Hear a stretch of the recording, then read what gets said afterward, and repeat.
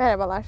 Karadeniz turunun e, zannediyorum dördüncü ya da beşinci günü olması lazım bugün. Bugün gün, hangi gün? Kaçıncı gün? 5. Evet.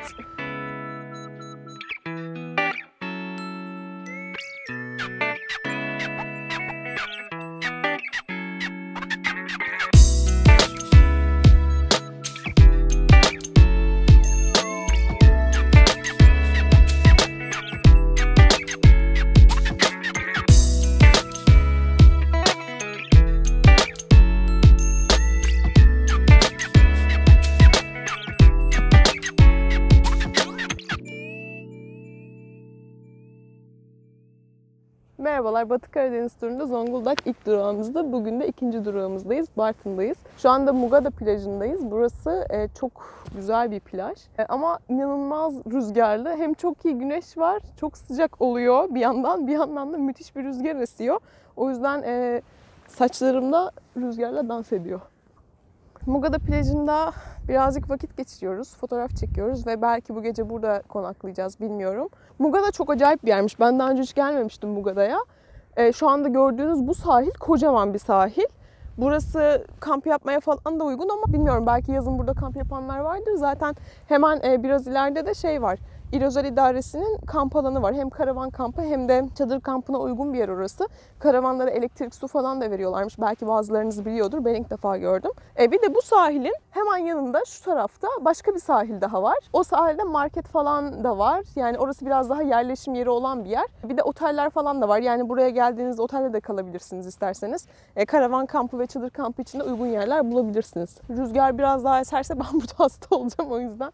Arabaya geçiyorum. Arabaya geçeceğim yani. Ha bir de bir dakika onu söylemedim. Şu arkamda görmüş olduğunuz yer bayağı Yağız olmasa Yağız'ı buradan çıkarın bayağı baktığınızda Tayland'a falan benziyor. Ama tabii şu an kameradan ne kadar benziyor bilmiyorum ama ben bakınca benziyor. Bir de Yağız çok önemli bir şey söyleyecekmiş. Acaba ne söyleyecek? Ee, Melike'nin anlattığı kadarıyla burada e, Seferoğulları ve Tosun Paşa'nın Seferoğulları'yla kavga sahneleri burada çekilmiş dedim. yuvarlanmak için buraya gelmiş. evet Yağız bir an inanır gibi oldu ama şakaya çok devam edemeyince onu da kaybettik. Seferoğulları ve neydi diğerleri? Paşalar. Hayır. Seferoğulları ve aa ay en sevdiğim de film. Yürüyün Seferoğulları, yürüyün. Tellioğulları. Tellioğulları. Şimdi şöyle ki e, bu şu anda üzerinde bulunduğum kum tepeleri çok hepimizin bildiği ve belki de sevdiği, severek izlediği, belki birkaç kez izlediği benim gibi Tosun Paşa filminin e, Tellioğulları ve Seferoğulları arasındaki kavgalarının yaşandığı yer. Burada çekildi bu film. Filmin sadece bu kısımları burada çekildi. Geri kalanları İstanbul'da çekildi. Bak bak ciddi olabilseydim inanırdım buna. Filmin sadece bu kısımları burada çekildi. Ee, geri kalanları İstanbul'da çekildi ama bu yuvarlanma sahneleri için buraya geldiler ve burada çekimleri gerçekleştirdiler. Tabii o dönemlerde bu kum tepeleri bu kadar e, şey değildi. Filmde de görenler hatırlayacaktır. Epey yüksek yerlerden yuvarlanıyorlar. Bu kum tepeleri Yalan söylerken ben. drone geliyor. Eğer bir drone'un sesini duyuyorsan sana doğru gelmiyor demektir. Saçmaladım. Uydurdum gel. Drone var ama şey yok. Ses var, görüntü yok.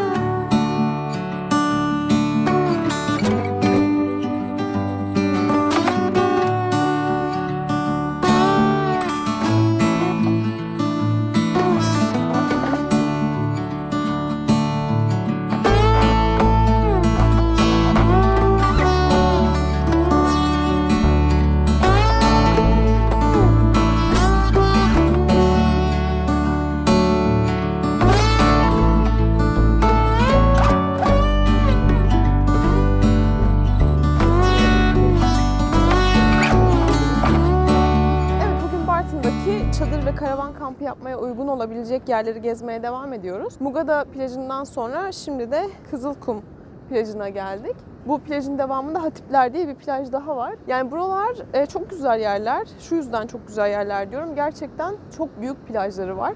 Yani arkamda gördüğünüz plaj hakikaten buradan başlıyor. Şu tarafa kadar devam ediyor. E, fakat etrafta şey yok tabii. E, nasıl diyeyim peyzaj anlamında iyi bir çalışma yapılmamış burada. Zaten e, bunun için buradayız. Yani bunları gözlemlemek için buradayız. E, mesela şurada tuvaletler var ama çok atıl durumda tuvaletler. İşte burada bir çay bahçesi var fakat çok iyi bakılmamış bir işletme. Tabii şimdi mevsim dolayısıyla da kapalı bunların hepsi. Büyük ihtimalle yazın burası epey kalabalık oluyordur diye tahmin ediyorum. E, şu anda mevcut durumda burada kamp yapılabilecek yerler var. Yani hem çadır kampı yapılabilecek hem de karavan kampı yapılabilecek yerler var.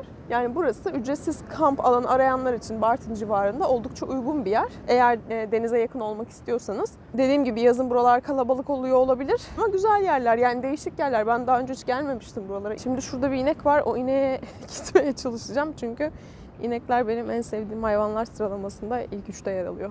Bu bilgiyi de veriyorum ki bilin yani. Neden olmasın bilin. Benim aklımda bir şeyler bilin.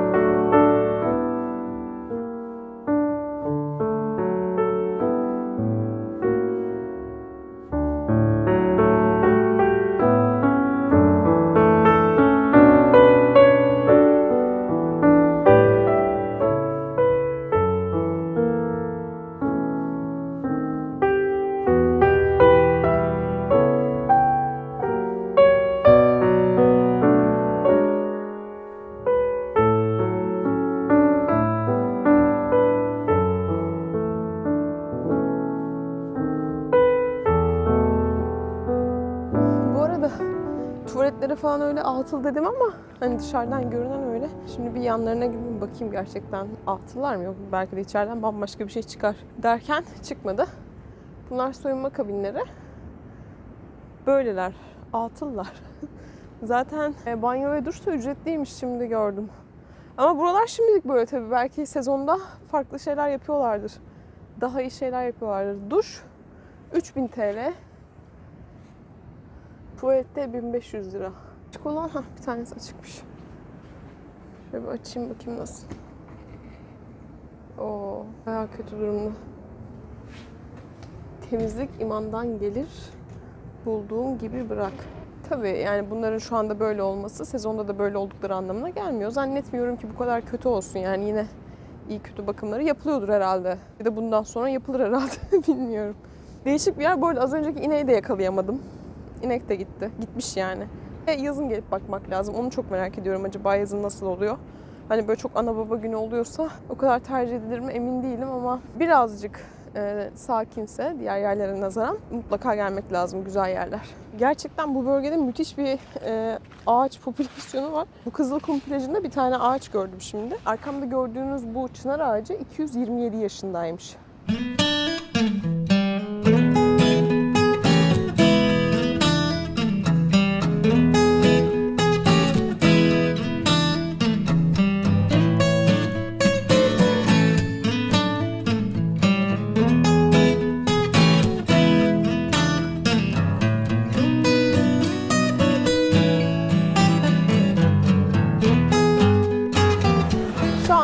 Bartın'da rotamızda olan bir diğer yere geldik. Burası Güzelcehisar plajı. Güzelcehisar plajı diğer yerlere nazaran biraz daha e, medeniyetin geldiği bir yer. Şu gördüğünüz yürüyüş yollarını yapmışlar, aydınlatma var, banklar yapılmış. Aynı zamanda kamp alanları var. Plajı diğer plajlara nispeten biraz daha küçük olsa da yani biraz daha bakımlı duruyor en azından. Bu yürüyüş yolu da şuraya kadar uzanıyor.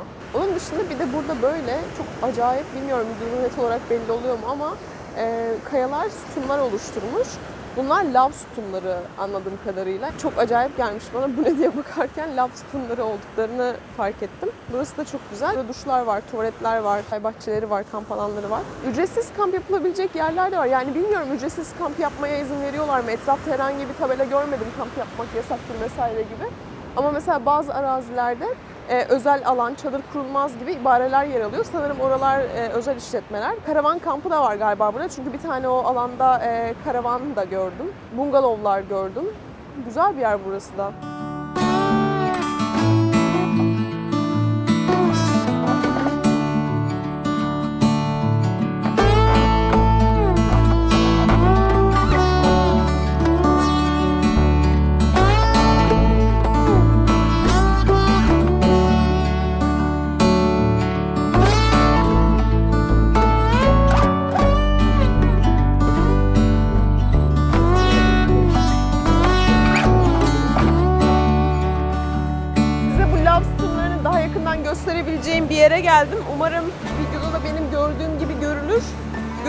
Bile en azından nasıl bir şeyden bahsettiğim daha net anlaşılır. Gerçekten çok güzel.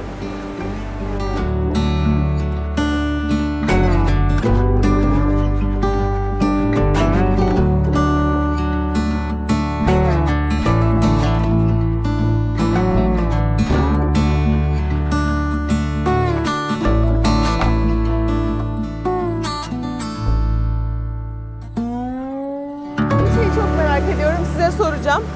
Şimdi görüyorsunuz burası deniz. Şu anda ben yürüyüş yolunun üzerindeyim. Hemen burası deniz. Arkamda da şöyle bir yapı var. Böyle tek katlı.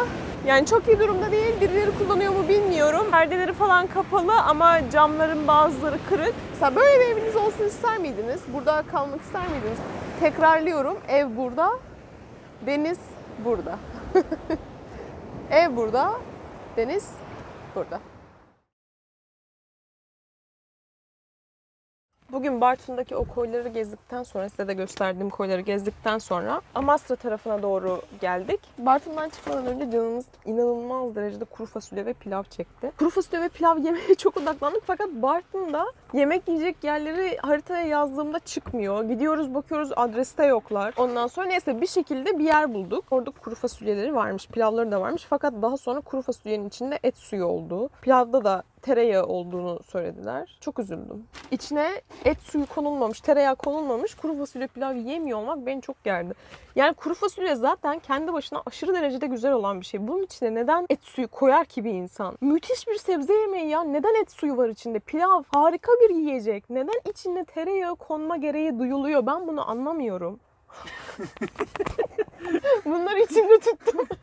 Yol, yol boyunca içimde tuttum. Gerçekten Allah aşkına buradan ev yemekleri yapan yerlere sesleniyorum. Ne olursunuz çorbaların içine özellikle e, mercimek çorbası, ezogelin çorbası gibi ya da sebze çorbası gibi şeylerin içine Allah rızası için tereyağı, et suyu koymayın. Kuru fasulyenin içine, nohutun içine tereyağı, et suyu, et bunları koymayın. Bunlar çok güzel yiyecekler. Hayvan eti olmadan da çok güzeller. Hayvan eti olmadan daha güzeller, daha lezzetliler. Lütfen koymayın. Evet tamam şimdi yemek yapabilirim. Neyse bunun üzerine çok bilendim. Haşlanmış fasulye aldım. Kuru fasulye yapacağız. Bir de e, tofu aldım. O vegan olsanın şeyinde Instagram'ında bir tarif gördüm. Böyle tofuları ince ince kıymış, menemen gibi yapmış. Çok lezzetli görünüyordu. Bir de onu deneyeceğim. Ekmeğin arasına koyacağım ve yiyeceğim. Müthiş olacak bence. Çok detay verdim. Şimdi yemek yapalım. Şu anda olduğumuz yere jandarma geldi. Burada aynı zamanda bir balıkçı barınağı da var. Şurada. Ay, elim nerede? Ha, elim burada. Şurada bir balıkçı barınağı da var. Balıkçı barınağına gelmişlerdi galiba ama sonra bizi görünce durdular falan bir şeyler sordular. Bilmiyorum. Şimdi ne konuşuyorlar gidip bakacağım. E, Jandarmayla bayağı bir saat iki saat sohbet ettik. Bir GBT yaptılar. Tabi bulunduğumuz yerde de işte kalmayın falan dediler. Şimdi böyle garip şeyler oluyormuş burada. Muhtarı çağırdılar. Muhtar geldi. Dedi ki Tarla Ağzı Köyü muhtarı. Söyleyeceğim onu da dur. Muhtar dedi ki birazcık sohbet ettik. Burada kalmanızda bir sakınca yok benim için dedi. Hatta bizim arabamızı koyduğumuz yerin hemen yanında muhtarın böyle küçük bir e, tek odalı bir kulübesi var. O kulübeyi açtı bizim için. Gönlü el vermedi çadırda kalmasına yazların. Orada ısıtıcı falan da varmış. Üşürseniz gelin dedi. E, tarla ağzındayız bu arada. Biz tarla ağzı diye bir yerdeyiz. Burada kamp yapacak çok bir yer yok. Yani biz de ona bakmaya gelmiştik. Kamp yapacak yer var mı acaba diye. Fakat yoktu. Olmayınca da biraz hava kararmıştı. Onun için geri dönmek de istemedik. Burada kalalım dedik limanın hemen yanında. Ama işte burada kalmamız sakıncalı olabilirmiş. Jandarma öyle söyledi. Muhtar kalabilirsiniz deyince iyi kalsınlar o zaman falan dendi. Muhtarla da bir saattir sohbet ediyoruz. Hayatımda gördüğüm en tatlı muhtar olabilir kendisi. Sabahta kahvaltıya davet edildik. Şimdi bir çay içeceğiz. Sonra uyuyacağız. Yarın sabah erken kalkacağız. Ee, muhtarla çay içtikten sonra rotamıza devam edeceğiz.